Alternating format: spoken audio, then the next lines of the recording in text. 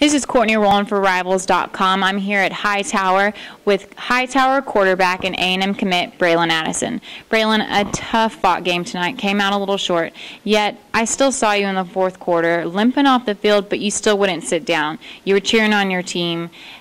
Coaches were asking if you were okay, but you were still trying to lift everyone's spirits. Expand on your leadership role based on what I just kind of talked about and how you know you just have that never quit attitude. Uh, you know, all season long and even last year as a junior, you know, Coach been preaching to me. Coach McGinnis and Coach Al, they've been preaching to me. You know, they just want me to step up and be more of a vocal leader, and I'm more of a quiet person. So, you know, in the games, you know, there's not so many people, you know, tuning in to me. So I try to, you know, talk a little bit more because, you know, it's at practice, you know, you're trying to figure out things. So I really don't say too much because everybody trying to get a grasp of everything. But when the game comes, I just try to say a little bit more, you know, lift the spirits, you know.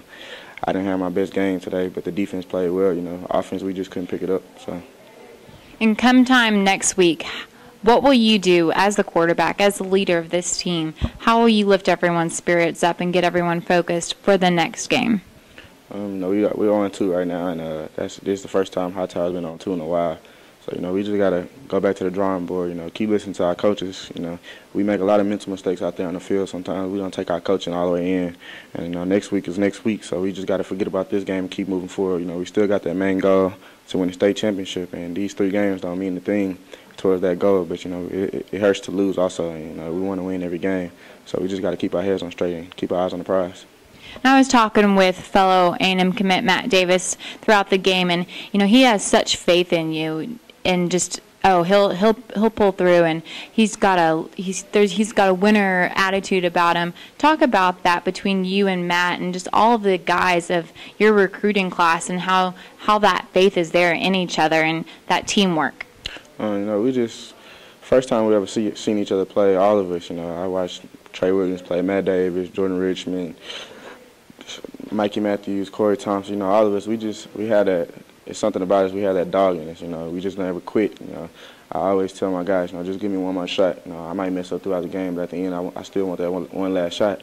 And I never shy away from competition. So you know, it's the same way. You know, we all our recruiting class. I feel like every everyone in that recruiting class wants to make the big play, and I feel like that's the best thing about it. You know, nobody's going to quit in the end, no matter if we're down by 30 or seven or three. You know, we all want to make that last play and you guys already seem so close and you are already building and forming that connection showing up at each other's games how is that going to carry over next year you know when you have to uh, be in sync with matt and y'all are already forming just that bond that relationship right now um, from the time we started talking about us all going to the same school, it was about our brotherhood. You know, we all been playing against each other so long since elementary school, playing against each other, against each other in football or basketball, and uh, you know, to finally be able to join the same team and join forces, you know, it, it's it's pretty exciting. So, you know, we just wanted to become one and a brotherhood. You know, all the guys we got coming from Dallas, Louisiana, here, Texas, you know, we just all one big brotherhood.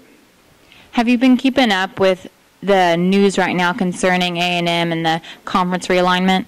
Yes, I, you know, the SEC news, that's real big right now, and I've been watching it like, you know, so many people ask me questions, you know, so many people doubt that I, I'll still be here in the end, still stick with A&M, but I'm not going anywhere.